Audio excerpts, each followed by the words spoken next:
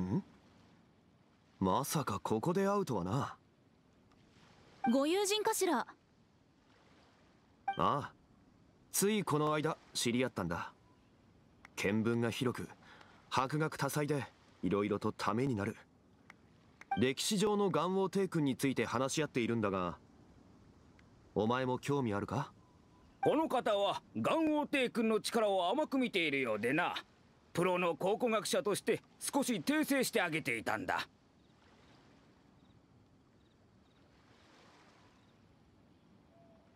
ちょうど今世界最初の村の話をしていたところだよ。世界最初の村？元王帝君の導きにより先人たちは功績を精錬し諸国と貿易を展開したのは誰もが知っているだろう。今のリーウェには全大陸で唯一モラを製造できる権利がある。そして最初のモラは数千年前に元王帝君が作ったと考えられる。私の考察それから推測だとこの歴史的意味のあるモラは記念品として今も大事に保存されてると思うわ。例えばリンユエを管理する七星は就任前に秘密裏に行われる儀式があってそこでいやいや私の研究だとこの最初のモラはそう単純なものではない。ご存知の通りモラは触媒の一つである。今もモラを使って武器を強化する術が存在する。世界最初のモラには強い力が秘められているはずだ。だから今度出す私の本でこの10年間の研究成果を証明してみせようと思っている。ズバリ元王帝君はその村を使って刀と剣を強化したという歴史を。刀と剣を？知りたければ私の本を買うといい。ちなみにその刀と剣を手に入れればリーユエの王になれると言われ。それはどうだろうか？おや？刀剣の真相の考察は置いておくとしてモラが生まれた理由は契約を結ぶための手段だ。モラを使って取引させることこそが本意だと思う。だから最初のモラも普通に通貨として使われているだろう。うん。私は漢学殿の仮説は面白いと思う。逆に勝利殿なぜ証拠もなしに否定を？いや俺はあくまで事実私よりも元王帝君の御心がわかるというのかい？歴史に関しては俺も詳しくはない。だが意見が分かれなければ切磋琢磨もできなくなる。では聞こう。千年前元王帝君が先人たちに建築の技術を教えた。その時使われた模型は全てモラで鋳造されたものだった。そうだね。その通りだ。では仮にモラに心力がないとしてなぜ元王帝君はそんな贅沢なことをしたのだ？簡単だ。それはモラが最も手に入りやすく最もコストのかからない材料だったからだろう。えうん。元王帝君の話だからな。うん。勝利殿。その考古学に関してあなたに聞きたいことがあるんだけど場所を変えて聞いてもいいかしら？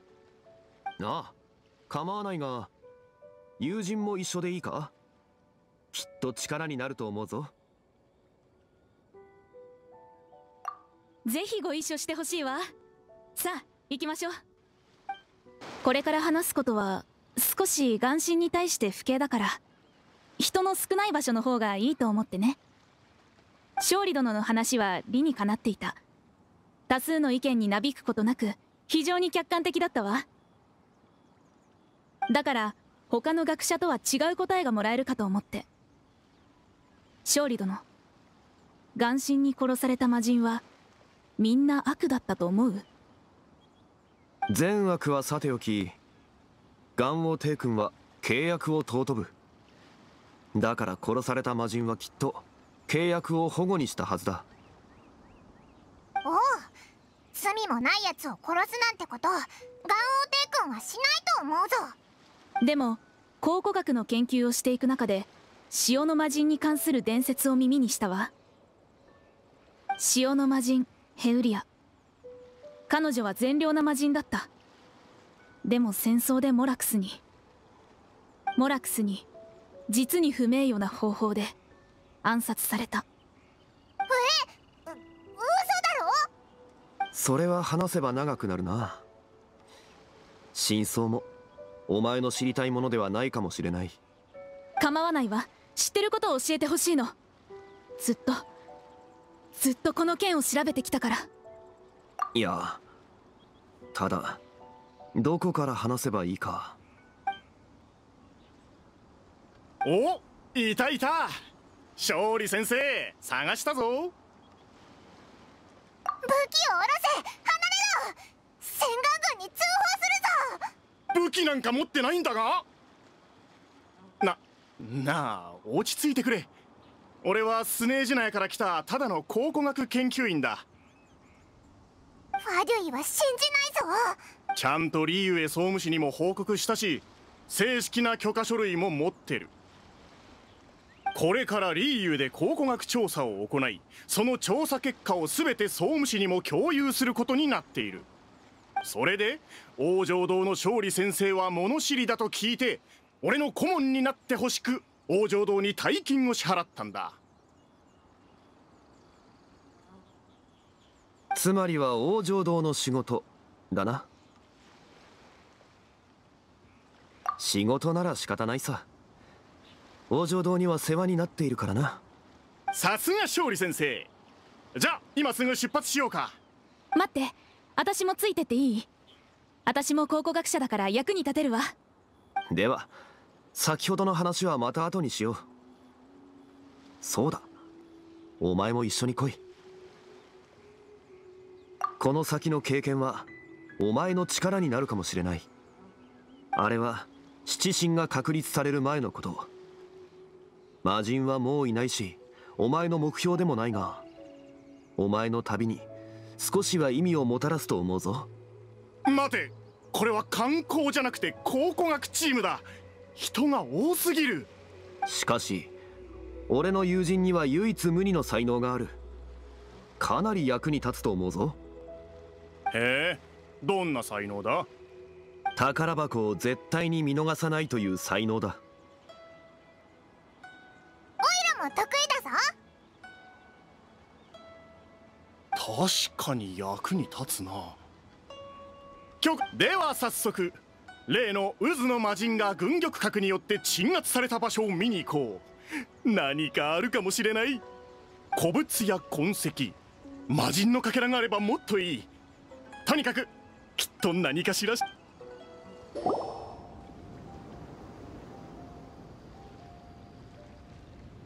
うーん。特に変わったところはないな。もう結構壮大だと思う。景色の話じゃない。あんな対戦があった後なら何か違和感を覚えるところがあるはずなんだが今はどこか。ここは古雲閣。魔人。もしくは魔人戦争の歴史を研究したければここが最高の場所になる。伝説によると元王帝君は岩の槍を海に投げ魔人を封印した。その岩の槍が長年の風化を受けて今の景色となった。こんな大きい山が元王帝君の武器？俺たちが見ているのは氷山の一角に過ぎない。あの時帝君が投げた槍の数も体積もこれをはるかに超えている。ただ角度の違いやそれから海水や重力の影響でその多くは海の底に沈んだんだ。そのため風化だけでなく最初の崩落も幸運閣が出来上がった要因の一つとなっている。じゃああんな桁外れの力を持った者と戦った魔人もきっと強かったんだよな。ああ。だから幸運閣には研究の価値がある。あの歴史と関係するものの多くは海に沈んだが渦の魔人が大波を引き起こした影響で何かが見つかるかもしれない。つまりちゃんと探せばきっと大儲けでき5本収穫はあるってことだな。それなら安心だ。この人数なら手分けして探した方がいいだろう。ああ。では俺は友人と共に行くことにする。雑学はわかるがプロの考古学者の前で恥をかくのは遠慮したいからな。え？あ私？なんだ？あんたの本職だろ？なぜ驚く？分かったわ。ででは案内するわ。ああ珍しいものを見つけたらそうだな。対岸で落ち合おう。あんた本当に考古学者か？何も知らないじゃないか。本当に大丈夫なのかよ。術業に先行ありって言うでしょ。ちゃんと説明してるじゃない。喧嘩はやめろよ。何があったんだ？こいつ考古学者なのにこの辺りの遺跡について何にも知らないんだよ。むしろ俺の方が詳しいくらいだ。だから俺の勘と経験で価値のありそうなものを持ってくることしかできなかった。ああ時間の無駄だったかもしれない。私はずっと潮の魔人の研究をしてたんだから詳しくないのも仕方ないでしょ。そっちこそモラのことしか聞いてこなかったじゃない。貴重な文化財の価値をモラで測ることしか知らないの？そそれはモラで言えば一番わかりやすいだろ？まさにリーユへの伝統だ。二人とも少し落ち着け。お互い見つけたものを一緒に確認しよう。うん。そちらが見つけたものは確かに渦の魔人の影響で岸に上がったものだが魔人とは関係がないな。一方俺たちが見つけた石板には不思議な模様がある。魔人の力も残っているな。な早くそれを俺に渡せ。これで収穫はありだな。魔人の力これを探してたんだ。ほほん。他のものも少しは金になると思うし古文料を回収できるはずだ。魔人の力がないと研究価値がないのか？ううん私が潮の魔人の歴史を研究しているのは歴史が文化と信仰を教えてくれるからよ。あなたはお金のことしか考えてないみたいだけど。バカ言え。俺はスネージナヤの考古学研究員だ。正真正銘な。そうだ。あのコップは売らない方がいいぞ。ん？なんでだ？あれは行幸のコレクションで軍玉閣と共に落ちてきたんだ七星を敵に回したくなければ金になると思ったのにほらまたお金の話だったら何だって言うんだ研究成果も金もどっちも得るに越したことないじゃないかさあここは終わりにするぞそうだ塩の魔人そいつには俺も興味があるんだ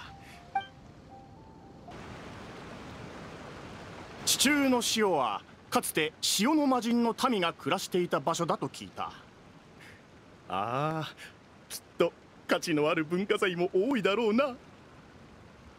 伝説によると塩の魔人ヘウリアの加護を受けた民は確かに幸せな暮らしをしていた。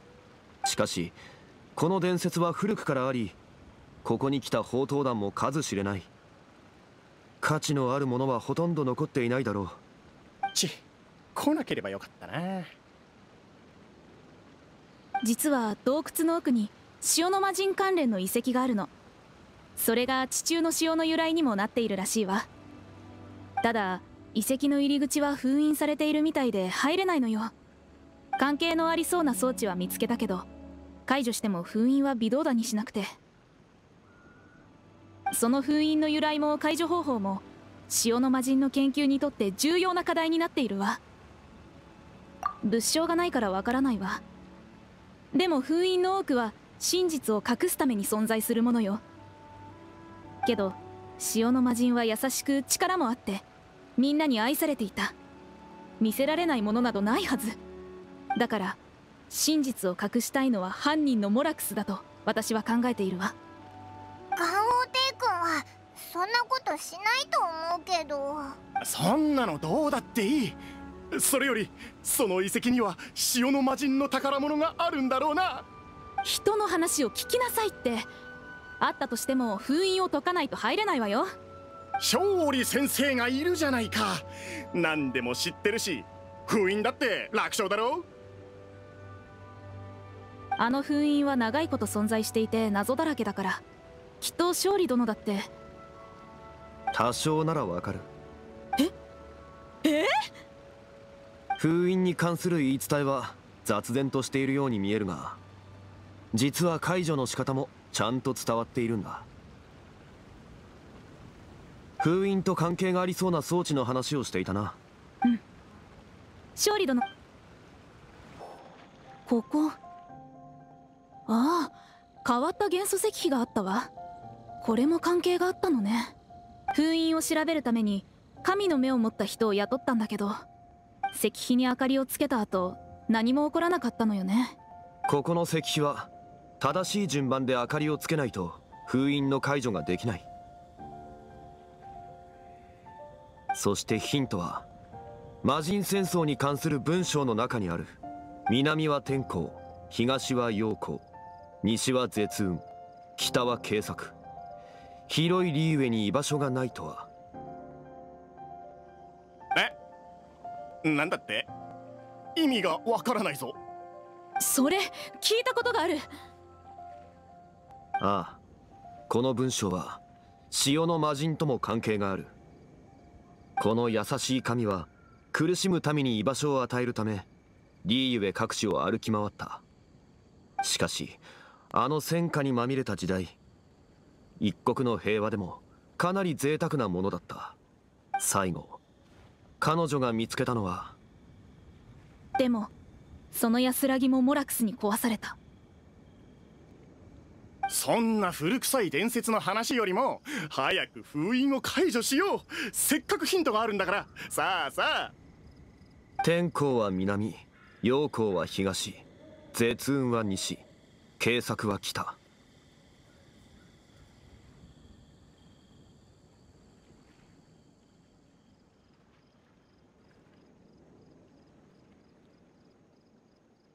このヒントがあればお前もわか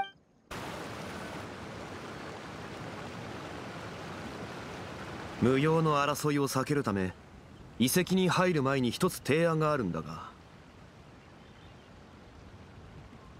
何でしょう？契約を結んでほしい。内容は順番に物を取る。一度に一点のみ。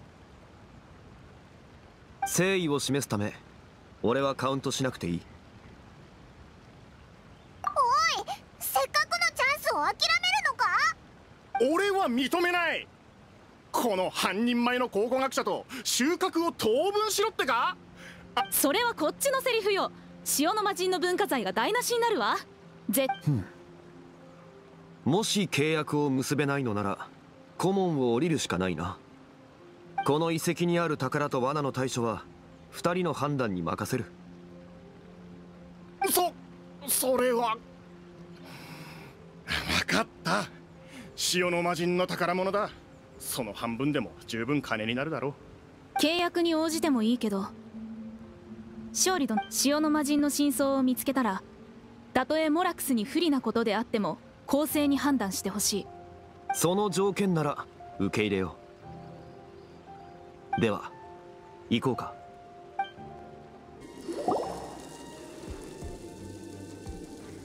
中に塩が半分入ってるわ。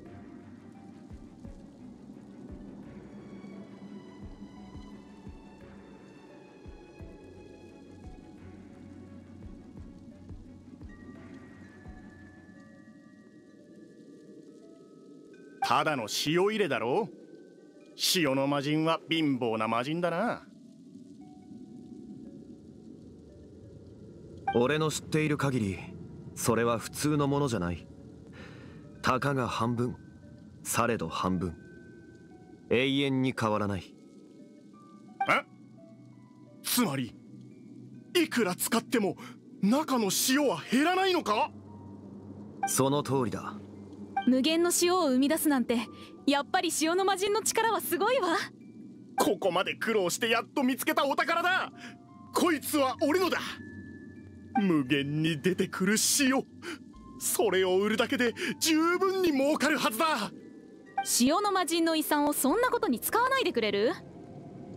クリメント殿がそれを欲するなら契約に従って次は彼女がもらう。問題ないさ。こいつより金になるものはなさそうだしな。契約に従い奪い合いはやめておくわ。では先に進もうただの定規だろう。大したことない。これは測定器具の一つなのよね。その通り。しかしこれにも塩の魔人の力がある。これを地面に刺すとそこから塩が溢れてくる。深く刺すほど得られる塩の量も多い。つまり塩の豊作だそそれって。では契約に従いこの定規は彼女のものだ。ダメだ。認めないぞ。俺が出した金だ。なんで俺が損しなければならないんだ。それにこいつ何の役にも立ってないし。絶対にみやっぱりこうなるのか。つまり契約を破るのか。だったらなんだ？この遺跡の罠もほとんど分かったしあんたがいなくても結構。そもそも俺が雇い主なのになんであんたに従わないといけないんだ？契約を結んだからだ。元王帝君はこう言った。契約を保護する者は岩食いの刑に値する。それはリーユエの神だろう。俺はスネージ。岩食いの刑。その身をもって体験するといいその獲物も没収する。この先に行く資格はない。猿がいい。くそ覚えてろよ！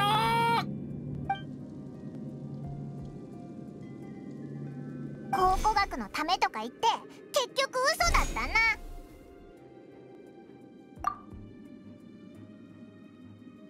だな。おいらの鼻は騙されないぞ。彼は貪欲で間違いを犯したしかし貪欲の他にも契約を破る原因はまだまだある。渇望する者を前に契約を守れる者はどれほどいるか。これを機にはっきりとさせよあ何のことだ？この考古学チームに考古学を目的に来た者はいない。どうしてそう言えるの？お前は考古学の初歩的な知識も文化財もよく知らないが塩の魔人に関する知識だけはかなり詳しい。考古学や文化財よりも塩の魔人自身に興味があるのだろう。またお前が話した塩の魔人の伝説もその多くは銀元町に伝わっている。それ以上言わないで。勝利殿はやっぱり物知りなのね。何もかも見抜かれてるわ。そう。私は考古学者ではなくリーユエ七世八門の一つ営業を担当する銀元町の者よ。私たちの祖先はかつて魔人戦争中に塩の魔人に守られた民だった。確かにモラクスっていう名前を口にするリーユエ人はめったにいないもんな。戦争中モラクスが私たちの神を殺した。塩の魔人の力を奪うために。憎いわ。でもリーユエはモラクスのリーユエ歴史だって改ざんされてるに決まってる。だから証明したいの。モラクスが悪で残酷な一面もあるってことを。契約に従って真実をちゃんと公正に判断してくれるわね。勝利殿。もちろんだそれにリーウェはもうモラクスのリーウェではない。ついてこい。答えはこの先にある。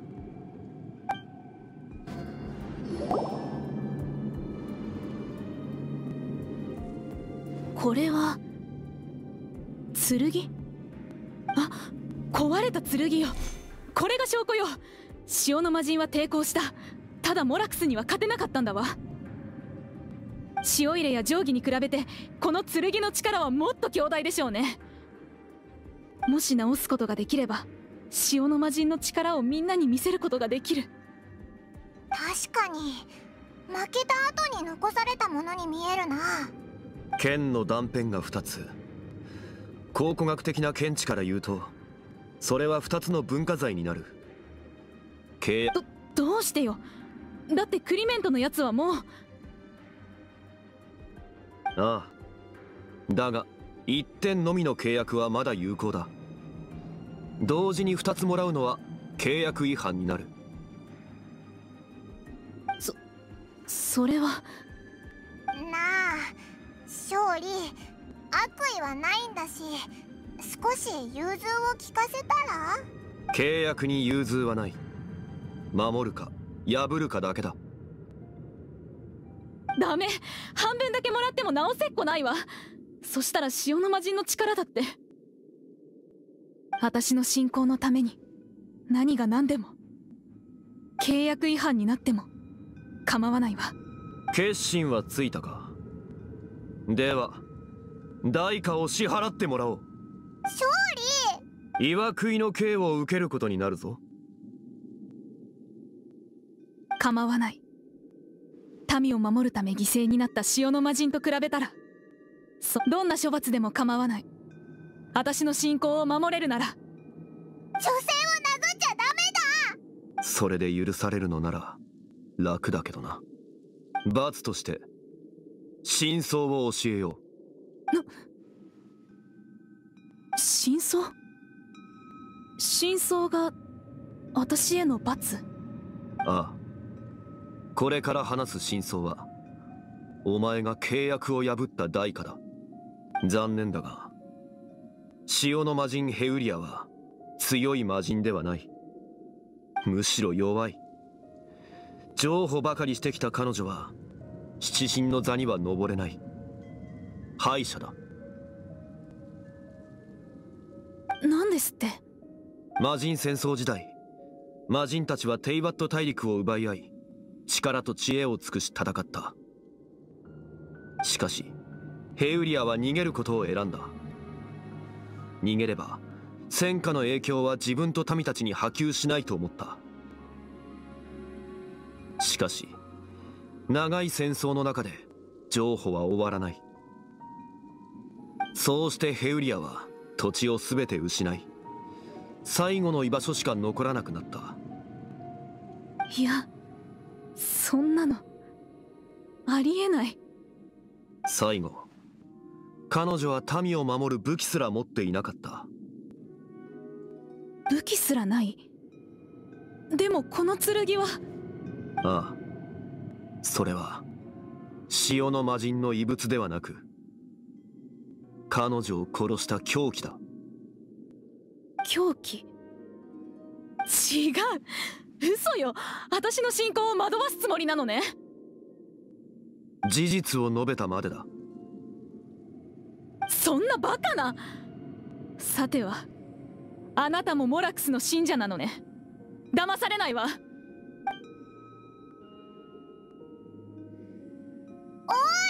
勝手に行くなよ。罰だからな。そうでなければ俺だって話したくない先へ進もう。そこにはおそらく彼女が真相を受け入れざるを得ないものがある。今までのあれは何なの？彼らは何を見て？何をしたの？そして。俺を信じられないなら先へ進むしかない。あの時の出来事この扉の先にある痕跡がそれを記録している。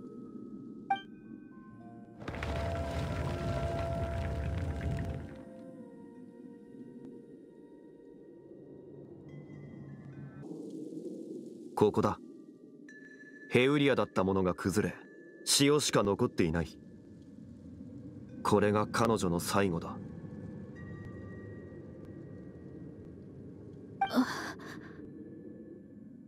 物語の続きだ。彼女の民はこの優しい魔人では誰も守れないと気づいた。魔人戦争は残酷だ。破れた苦痛を味わわせるよりも彼らは彼女を自由にしたかった。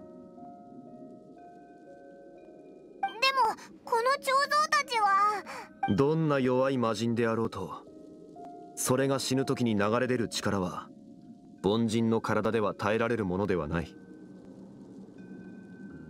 逃げられなかった者がこんな風になってしまったんだ。生き残った民は領地を離れ元王帝君の庇護を求めるためリーユエに行った。その子孫たちはヘウリアが残した魔人残死による呪いを恐れここに戻って彼女の怒りが静まるようにと剣を折って彼女に奉納した。だが本当はする必要もなかったんだ。最後まで抵抗しなかった魔人が自分の民に怒りを抱くわけないだろ？そそれでも受け入れられないわ。嘘よ。偽りの歴史よ何もかも。私の信仰は揺るがない。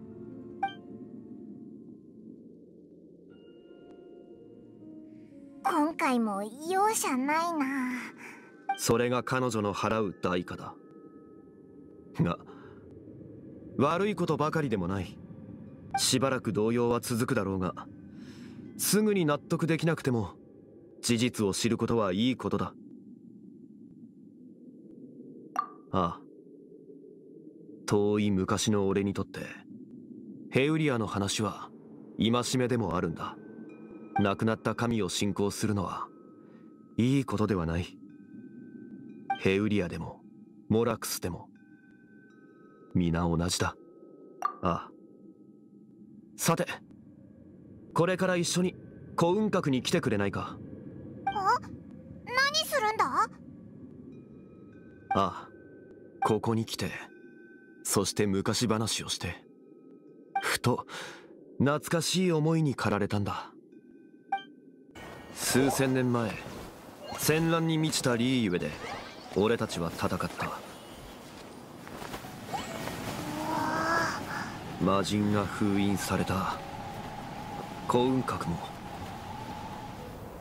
千年の時を経て逸話と伝説しか残っていない。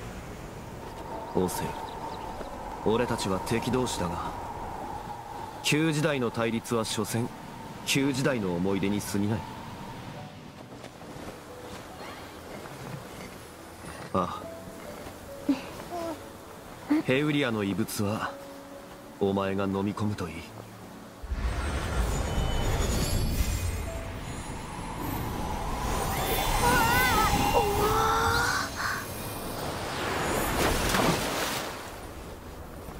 リーウェ港の霊石はこれで一つなくなった。天地万象後世に任せるとしよう。